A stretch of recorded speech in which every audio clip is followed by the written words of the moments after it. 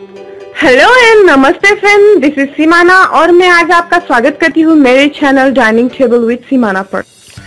आज मैं जो आपके लिए रेसिपी लेके आई हूँ, उसका नाम है मेथी का पराठा, जिसको मैं हरा भरा पराठा भी कहती हूँ। Yes because it looks in a green texture, that's I am calling it हरा भरा paratha. So let's start to make methi parathas. And as well as let's see the ingredients too. सबसे पहले हम लेंगे two bunch of methi leaves जिसको हमने अच्छे से साफ़ करके वॉश करके छोटे छोटे टुकड़ों में फाइनली चॉप्ड कर लिए हैं। मेथी को लीव्स को हम एक बड़े बर्तन में ले लेते हैं।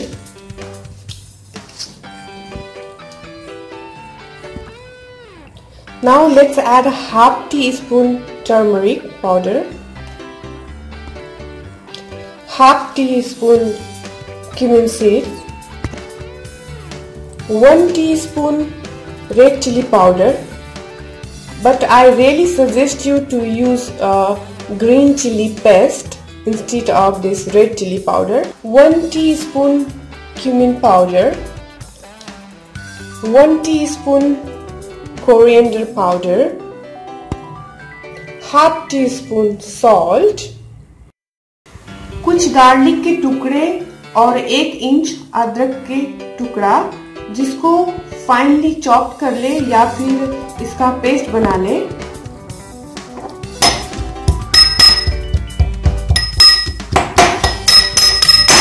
And add it also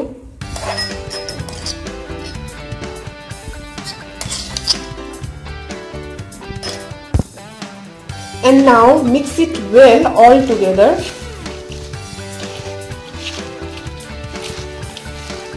now mixer is ready. Okay.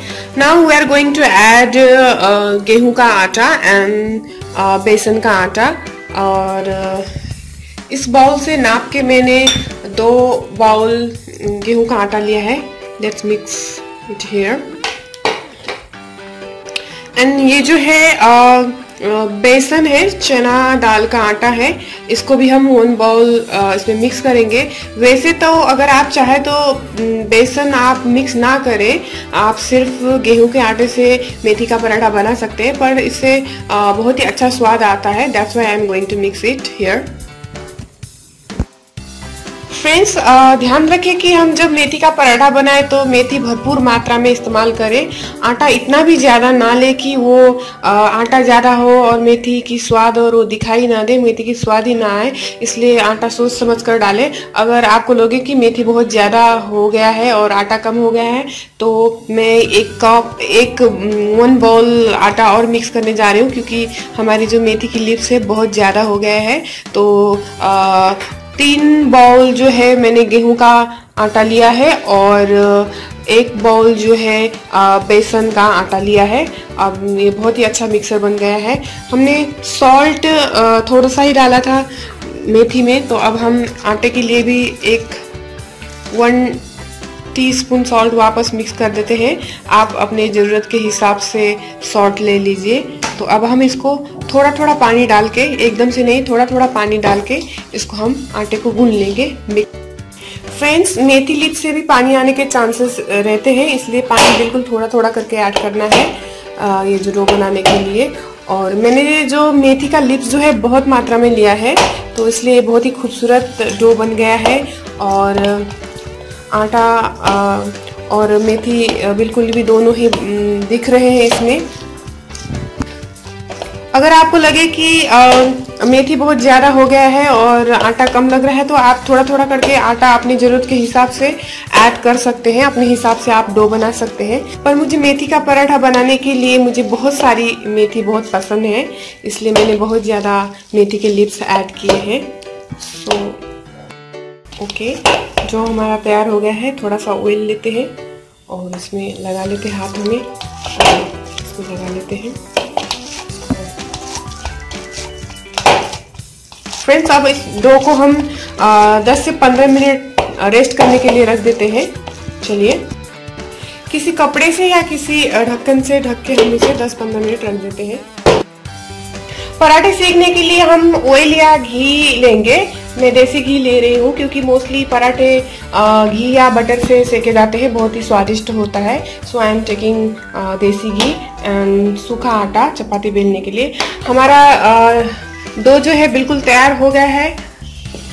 अगर आप अगर आप चाहो तो इसको और 10-15 सेकेंड इसको मार लीजिए।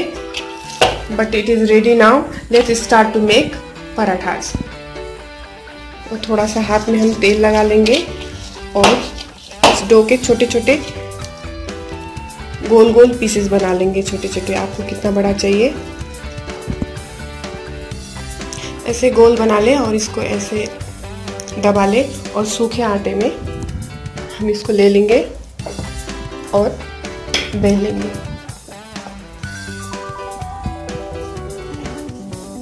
चपाती की तरह बेलना है, पर चपाती जितना बड़ा हमें बिल्कुल बनाना नहीं है, चपाती जो बहुत बिग साइज़ होता है, इसको हम फुलके के साइज़ में बना सकते हैं।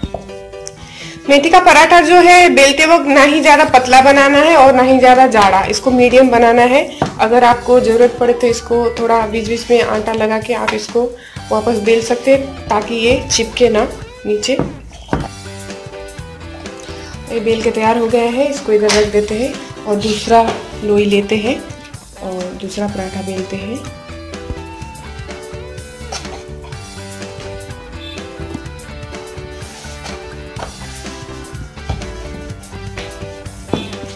हमने गैस ऑन कर दिया है। तवा, जब तक तवा गर्म होता है, हम कुछ पराठे बेल के तैयार कर लेते हैं। तवा हमारा गर्म हो गया है। अब, जो है पराठा सेकने के लिए डाल लेते हैं। अभी हमने हाई आँच पे तवा को गर्म किया है। अगर तवा ज़्यादा गर्म हो जाए तो टाइम टू टाइम आपको गैस का जो आँच है, कभी मीडियम कभी लो कभी हाई करके आपको मेंटेन करना पड़ेगा ताकि पराठा जो है जले ना, अच्छे से सीख जाए। 25 सेकेंड हो गए हैं, हमारा एक साइड जो थोड़ा सा पक गया है, अब हम इसे उलट लेते हैं। और जो घी है, हम इसमें थोड़ा सा ऐसे लगा लेते हैं। घी का इस्तेमाल आप अपनी मर्ज़ी से करें, आपको ज़्यादा लेना है तो ज़्यादा ले। अगर हेल्थ कॉन्शियस डाइट कॉन्शियस है तो कम इस्तेमाल करें। तो अब आज हम पराठे जो जल लगा है, इसलिए आज हम थोड़ा सा छोटा कर देते हैं मीडियम साइज़ में कर दिया गैस को। अभी थोड़ा पक गया है, हम इसे उलट लेते हैं, और दूसरे साइड में भी घी को हम घी अगर जमी हुई हो तो थोड़ा घी गरम करके आप पराठे में लगाएँ। लगाने में आसानी रहेगी। अच्छे से सेक ले। उलट पलट कर, पराठे को अच्छे से सेक ले। एक साइड में पंद्रह बीस सेकेंड दूसरे साइड में पंद्रह बीस सेकेंड करके चार पाँच बार इसको उलट पलट करके हम अच्छे से सेक ले। मीडियम आँच पे। जब पराठा सेकने का टाइम आया तो आँच बिल्कुल मीडियम कर लीजिए और अच्छे से सेक लीजिए इसे। ओके, ये जो पराठा ऑलमोस्ट सेक के हमने तैयार कर लिया है। एक पराठा सेकने में, तैयार होने में कम से कम तीन से चार मिनट लग सकता है।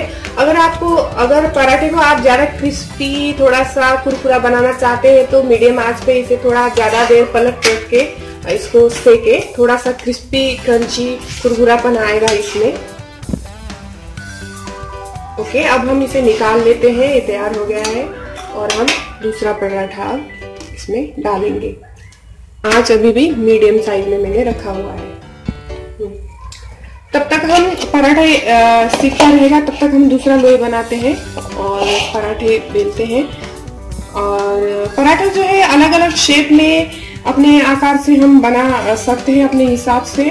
तो मैं एक दूसरा शेप है, वो भी ट्रायंगल शेप में मैं आपको बना के दिखाने जा रही हूँ, एक और पराठे का शेप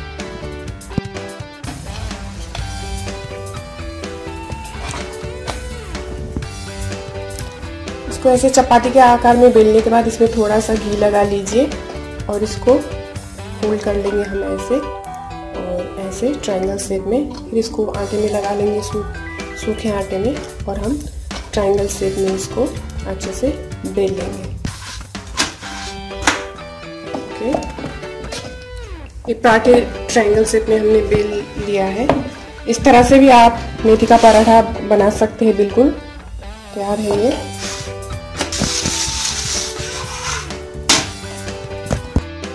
अब इस ट्रायंगल से पराठे को भी बिल्कुल उसी तरह से हम सेक लेते हैं। पंद्रह बीस सेकंड में हमें इसे उलट पुलट करना है। कम से कम पाँच छः बार जितना ज़रूरत पड़े करना पड़ेगा।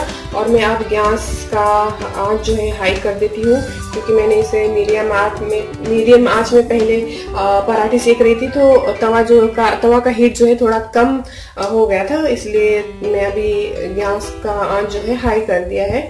और इसको पंद्रह बीस पंद्रह बीस सेकेंड में इसको पलटते उलटते पलटते रहना है। के ये पलट लिया हमने इसे। अब हम इसके ऊपर से घी लगा लेते हैं।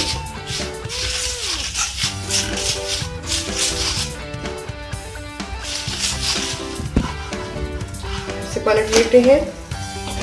दोस्तों, पराठे की जो सेप है, कई सेप में हम बना सकते हैं, और भी तरीके हैं पराठे। बेलने के, बनाने के बहुत सारे शेप में पराठे तैयार कर सकते हैं। आज मैं दो ही एक फुल के आकार का और एक ट्रायंगल टाइप का मेथी का पराठा बना के दिखा है। और भी बहुत सारे आकार से बना सकते हैं। और अब हम गैस की आँच को थोड़ा मीडियम कर देते हैं, क्योंकि पराठे अभी सेकने हैं, कहीं जल ना जाए। इसी तरह से सारे आटे के हम छोटी छोटी लोई बना के हम सारे पराठे अपने मनपसंद शेप में बेल लेते हैं और सारे पराठे हम सेक के ले लेते हैं।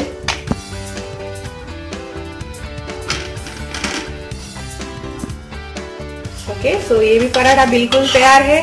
हमें बिल्कुल इसी तरह से सारे पराठे सेक लेने हैं और हमारे सारे पराठे तैयार हैं। दोस्तों, ये देखिए, बिल्कुल बन के तैयार है हमारे गरम गरम मेथी के पराठे। आप इसको दही के साथ सर्व कीजिए या फिर अपनी मनपसंद चटनी या सब्ज़ी के साथ खाइए। हमने दो आकार में पराठे बनाए हैं, मेथी के पराठे। एक ट्रायंगल शेप में एंड एक राउंड शेप में। आपको जो भी पसंद हो, जैसे भी आकार में पसंद हो, आप बना के खाएँ, अपने घर परिवार को खिलाएँ।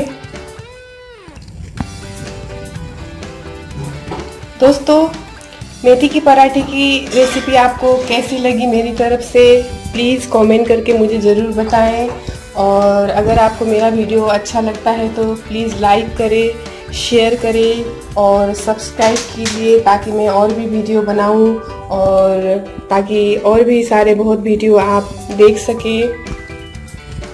Keep smiling stay fit and healthy next video पे मिलते हैं. Till then see you bye bye